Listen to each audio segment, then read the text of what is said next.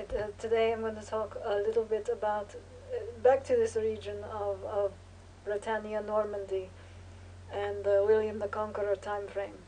Now, William the Conqueror, um, my particular ancestor there, I've also found a line, a line through Elaine. There's an Elaine, an Allen there, and it goes, it goes not to William the Conqueror, but yet it goes up to the the the Rollo, the Rollo also. So I have another one of these strong men, uh, uh, these strong men that they have parked in statues.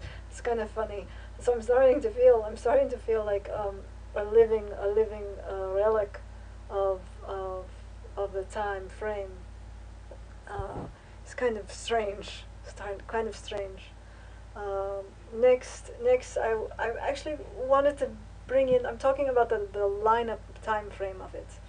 Now it appears, it appears we have the Fillet, Fillet family from Calvados marrying into, and we also have from the north we have the kings and queens of Denmark. So we have the kings and queens of Denmark showing up to make this little conquering zone uh, beginnings. So, so I'm sorry. I have to. I have to go through the. After it goes through uh, after Richard the Second Le Bon. Um, we're dealing with uh, not a long sword, not anything in that direction. I went too far. Yeah, so it is not him. It's through through Le Bon. If you go through Richard II's uh, mother, you'll find there. You'll find Sweden. You find not Denmark. I was completely wrong. Uh, no, no, no. No, see, it is correct.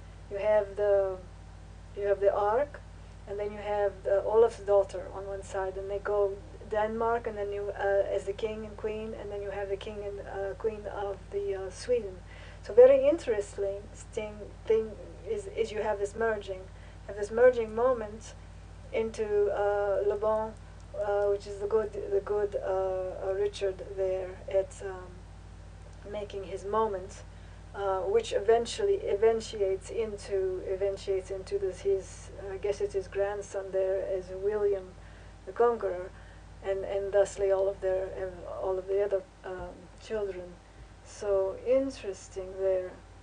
So the build up, the build up back into conquering England is is coming in from uh, a little bit is coming in from Sweden and Denmark also have I also have very much so leading into I'm not going to just say it's their doing I'm also saying it is there's another line I, I can't bring it up right now because there's so many pages but there's another line coming in from Italy so we have we have the Italians Italians also those kings and queens marrying into this Normandy uh, Bretagne region and in marrying the you know these the the queens of, of Varennes and, and Britannia.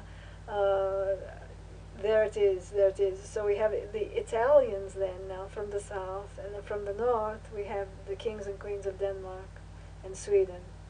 So it's an extremely interesting uh, conjunction there, the turnaround and attack uh, uh, very few generations later uh, turn in and, and attack and, and, and go after England itself.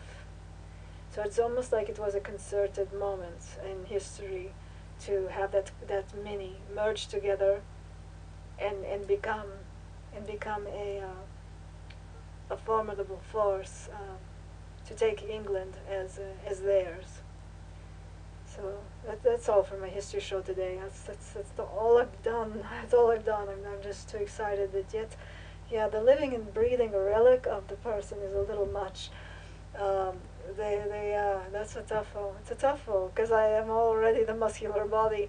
I don't need the, the, the to be this warrior self all, all the time, but um, I guess so. I guess it is a pertinent, a pertinent space uh, that I cannot uh, reject.